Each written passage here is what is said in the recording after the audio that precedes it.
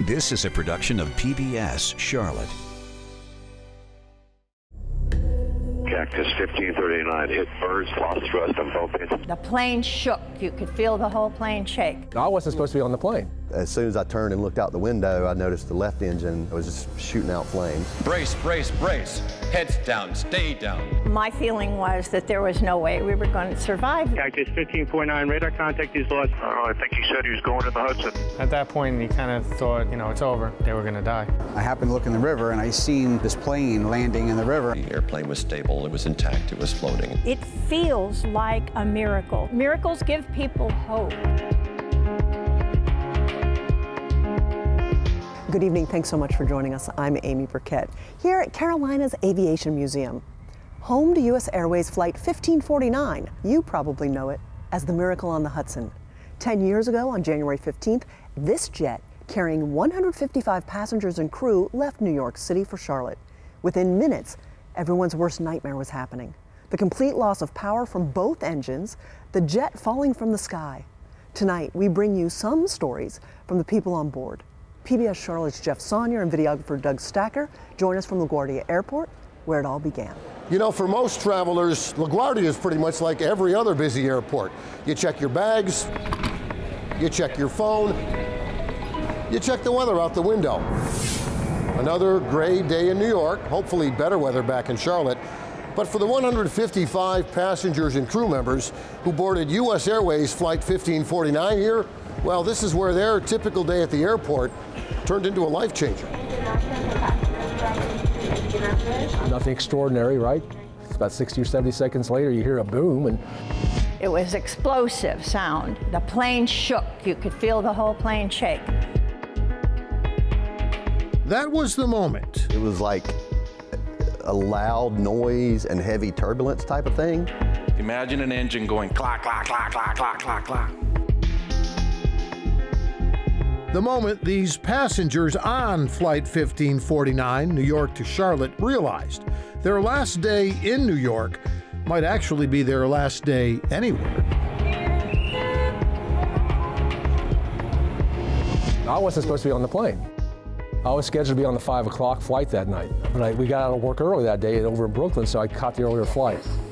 The safety card in your seat pocket explains the safety features of this airplane, including the location. The moment they wish they paid more attention to the safety announcement. airplane has two exit doors in the front. It's like a, a routine and you kind of take it for granted, I guess, um, until something really happens, you know? We're planning an hour and 13 minutes with an initial cruising altitude of 31,000 feet. The moment these strangers on a plane in seat 15A and 20C and 1D and 20A Dash skies, 54 The moment they all knew that who they were flying with might also be who they were dying with. As soon as I turned and looked out the window, I noticed the left engine, you know, was just shooting out flames. And that was the most terrified I've ever been in my life. And all I could see is water in front. And I said, this is not good. I couldn't tell by distance how close we were to the buildings. So my feeling was that there was no way we were going to survive this.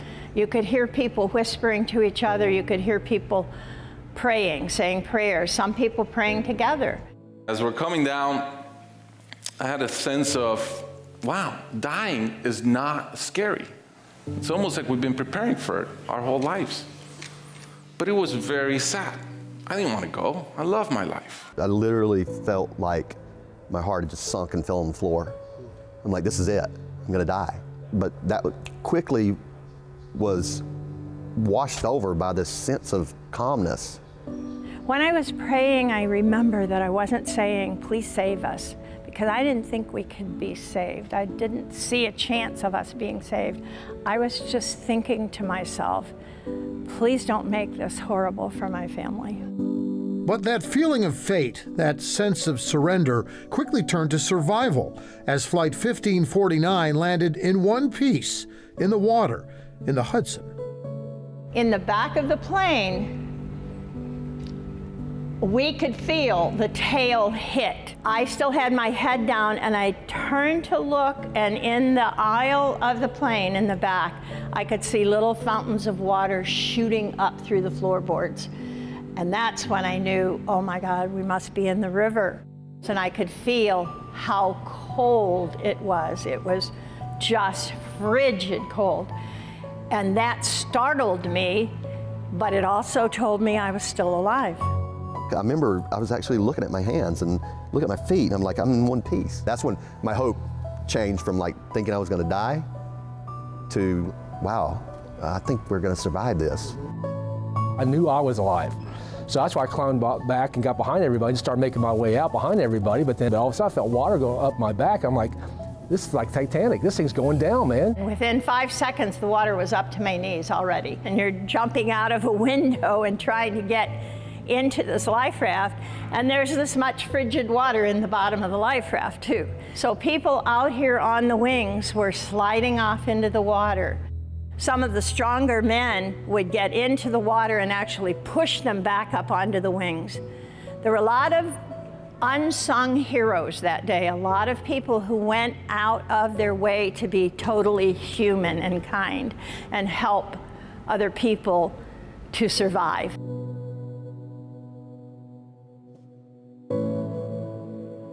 And there was a picture of me hanging out of the plane, waist deep in the water. And that's when I realized, whoa, I was one of the last passengers off this thing. And all of a sudden, my life's like, wow. I mean, I was shocked when I saw that on TV. And that's what sort of opened my eyes like, this is a miracle. This is really a miracle. That miracle for passenger 15C, Charlotte businessman Dave Sanderson. There's not too many people that survived a plane crash. Right. Is what brings him here, year after year, to Palisades Medical Center. Sanderson hosting charity events for the hospital, which is right on the Hudson, where emergency room staffers got glimpses of Flight 1549 as they prepared for a possible disaster. All of a sudden I'm on the fifth floor and I see the shadow go by. Hmm. It's actually a plane going down. Yes, at that point, at least we knew there were survivors. Mm-hmm. As some of those who survived 1549 arrived at the hospital, clinical coordinator Zoraida Batista remembers her patient. He was soaked and wet, soaked and shivering. He was shivering at that time and uh, he actually could not sometimes remember what he's saying, and he was so afraid. He was so afraid, and afraid, and also um, uh, happy that he's actually alive. Yeah, that happy to be alive patient was Dave Sanderson. Hard to explain, but when you're going down, right, when you're going down, and someone's there just to hold your hand, it means a lot. I was given the gift of a miracle of not dying that day. I was given another gift, which was to be able to see into the future and come back and live differently.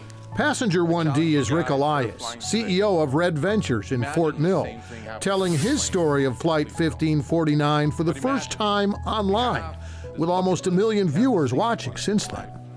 And I thought about all the people I wanted to reach out that I didn't all the fences I wanted to mend, all the experiences I wanted to have and I never did.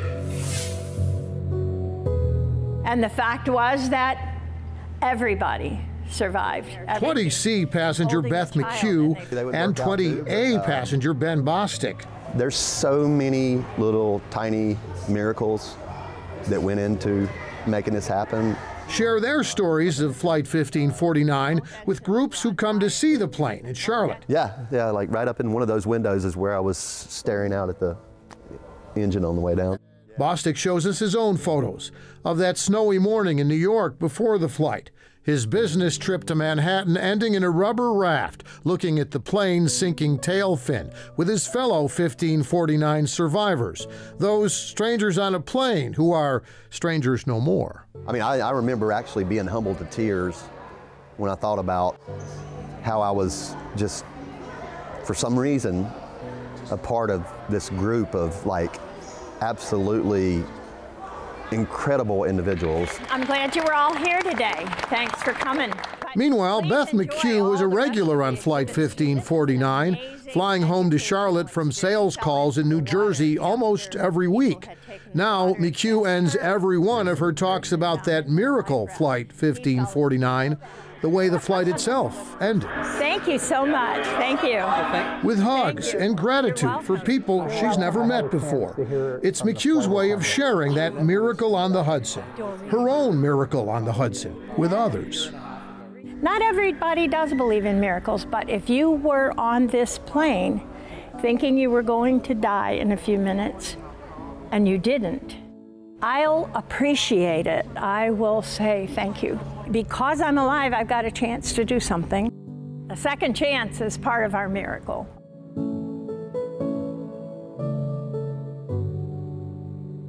Thanks so much, Jeff.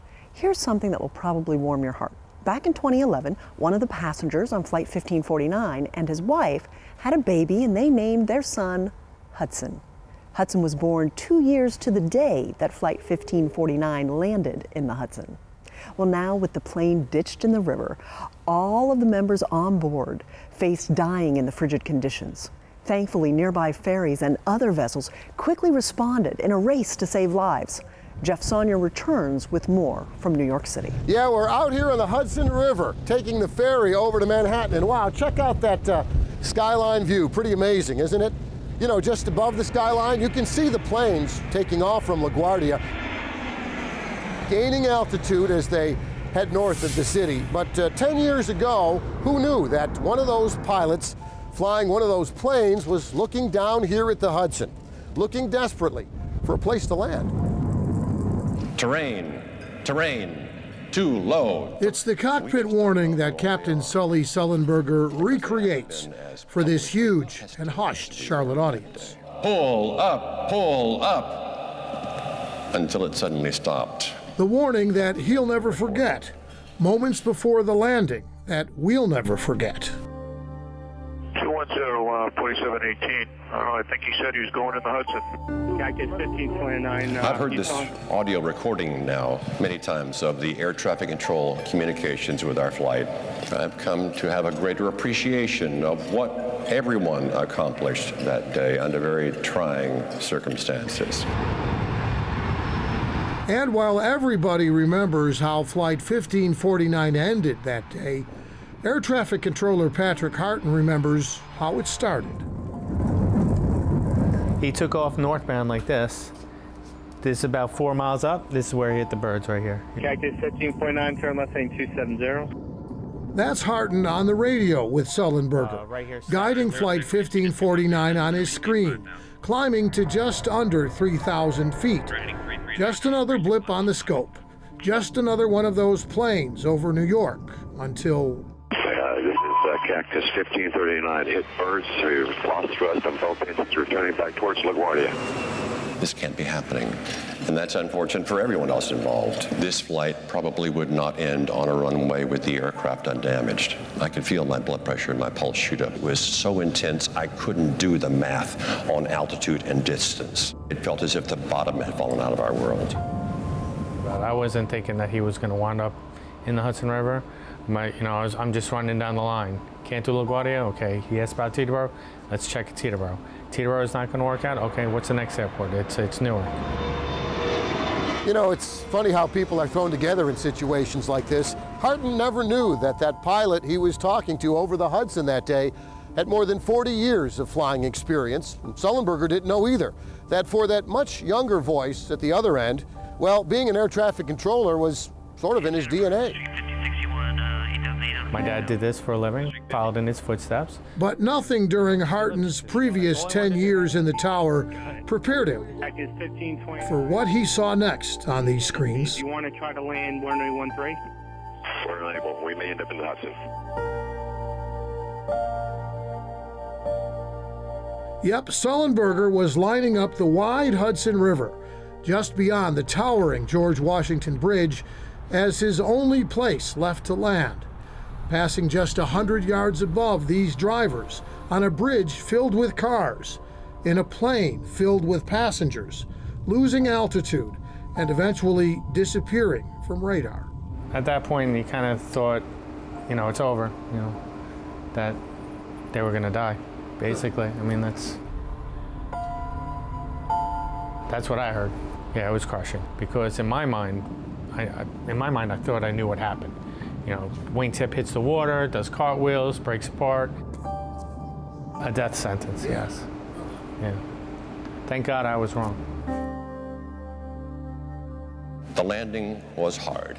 When we stopped in the river, it was obvious the airplane was stable, it was intact, it was floating, and people were probably still okay at that point. For New York Waterway, whose ferries rescued us from the frigid Hudson River, within 3 minutes 55 seconds, the Thomas Jefferson, the first New York Waterway ferry, was there. That was Captain Vince Lombardi's ferry, just pulling away from the pier as Flight 1549 hit the water. We knew what we had to do and where we had to be. Lombardi was the first of the first responders, figuring out on the fly how to get close enough for a rescue, nudging his moving boat nearer and nearer to the sinking plane. I had a tide pushing it down at an angle, and I'm coming into the tide, trying to hold myself at an angle. At some point in time, the tide overwhelmed me, and I had to back away so that wouldn't, so the plane wouldn't drift into the side of the boat and hurt anybody. And Lombardi, who played himself in the movie about Miracle on the Hudson, says these movie scenes of his ferry rescue are as real as it gets. You seen this?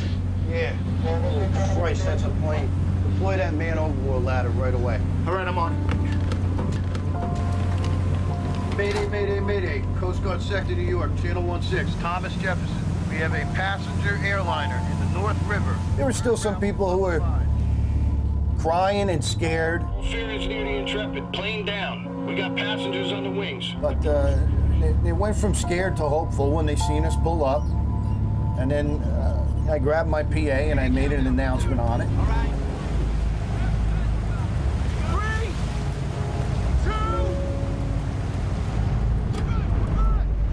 And I spoke very calmly, very slowly, and reassured them that there's more boats on the way.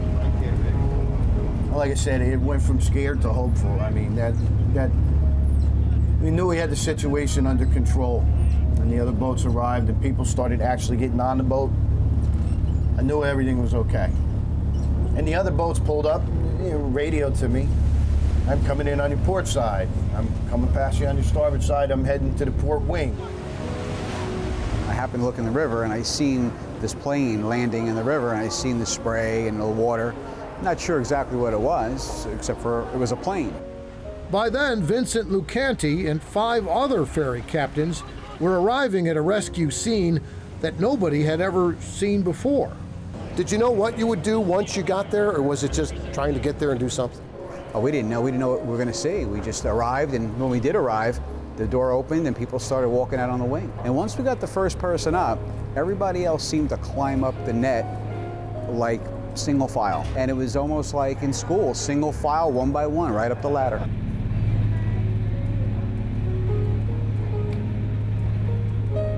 I've been trying for years now to remind everyone that there are many people among us on a daily basis who have integrity and courage and compassion and do remarkable, sometimes heroic things. We just don't know who all they are.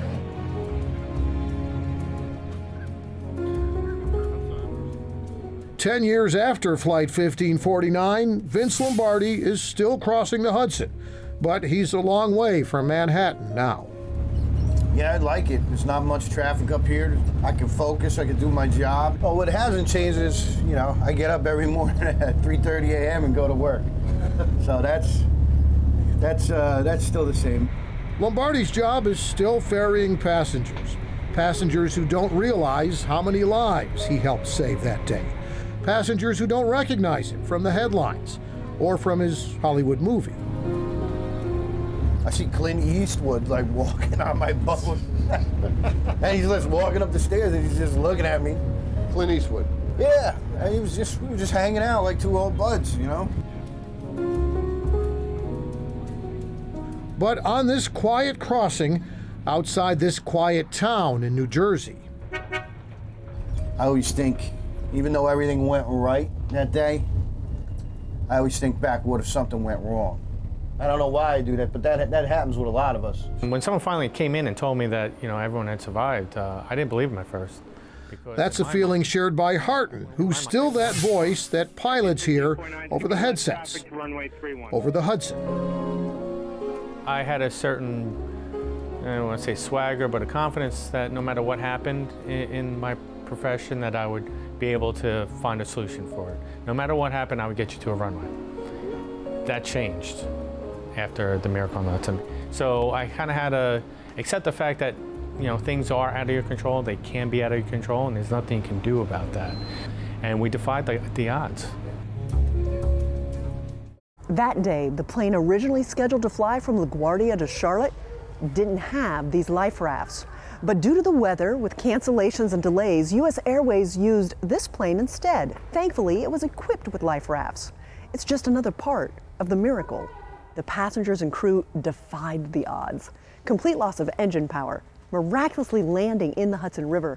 Plus, with quick response from rescuers, no lives were lost.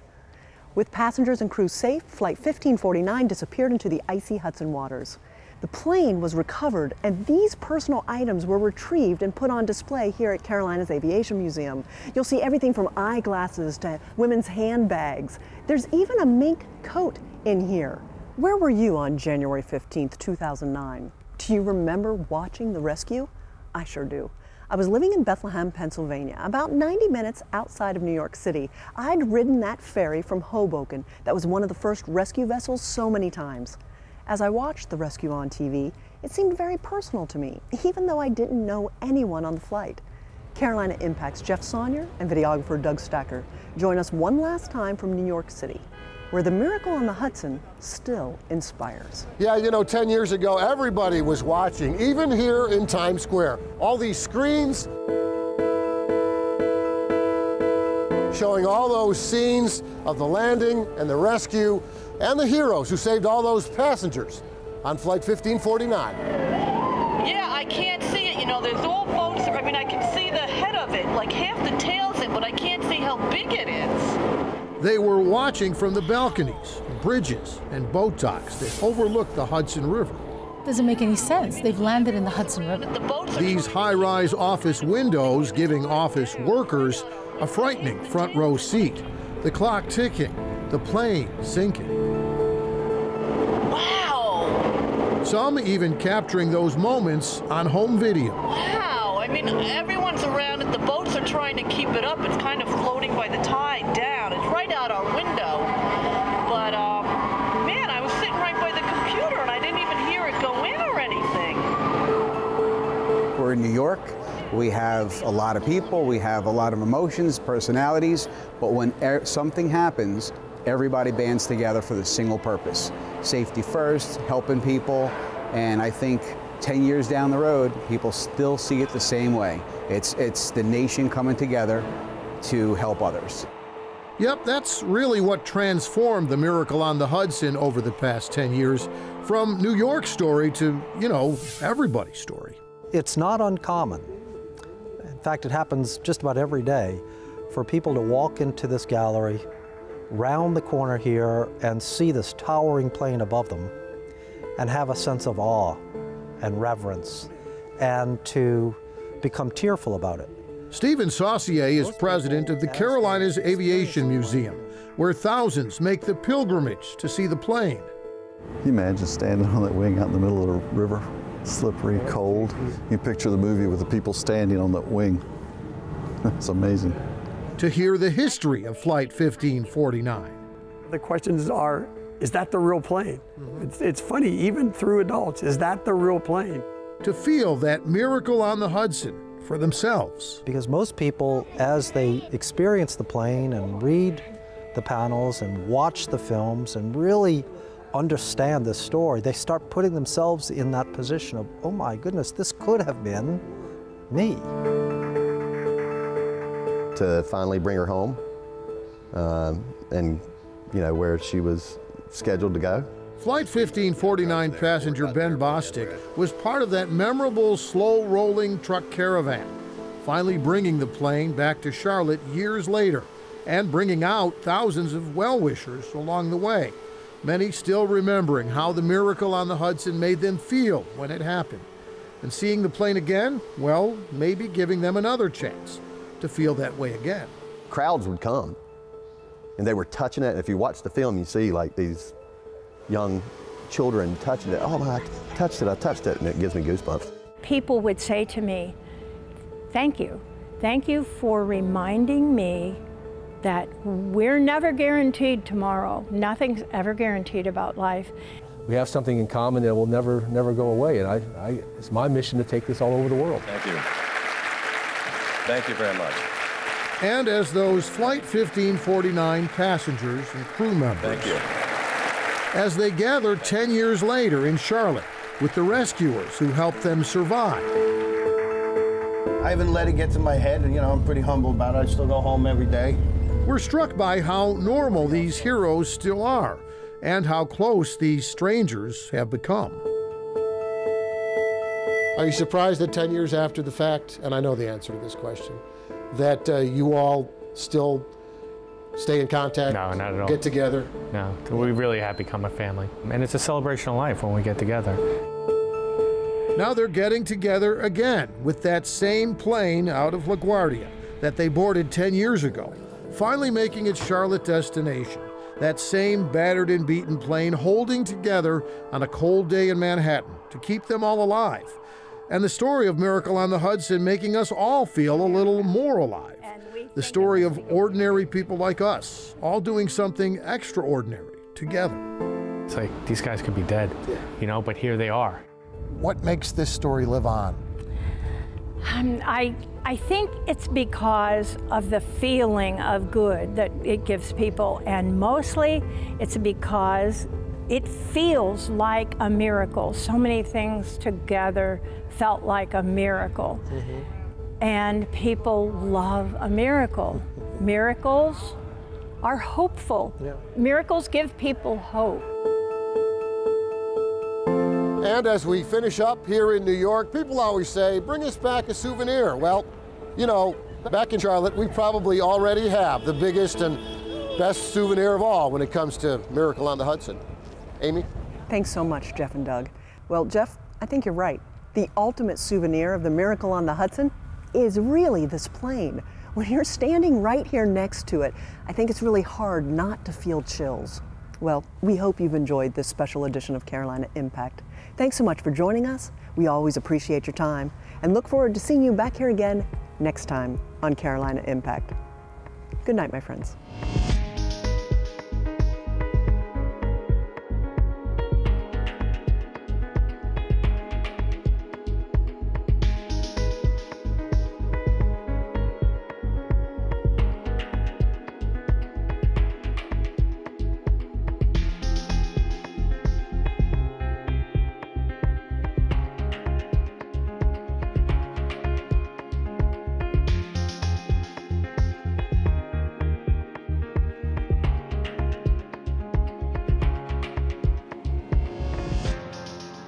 Production of PBS Charlotte.